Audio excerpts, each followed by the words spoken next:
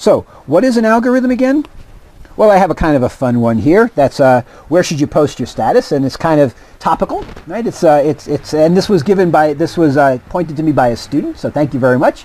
I, I didn't note your name here. I really should have noted your name. And if you give if you if you ping me and give me your name, I'll put your name on the slide for the next time that I happen to record this lecture.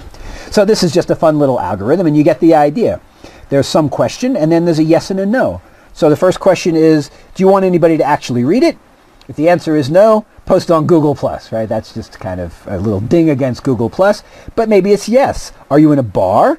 And if the answer is yes, then and you want somebody to read it, right? So we've answered these two questions, then post it on Foursquare. And you can go across this entire diagram. It's a kind of a fun thing to follow through. But what it gives you is it gives you this idea of an algorithm.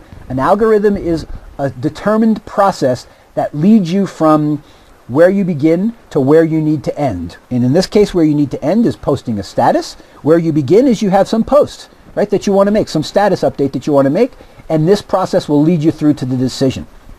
That's an algorithm. And we're going to, we're going to look at, at all sorts of algorithms inside of World of Warcraft. And the reason we're going to do that is because if you understand the algorithms, you're going to understand World of Warcraft and you're going to understand it in this deep way. Okay, so I'm going to I'm going to work my way down through a high level process and algorithm, a medium level process and algorithm, and a low level process and algorithm.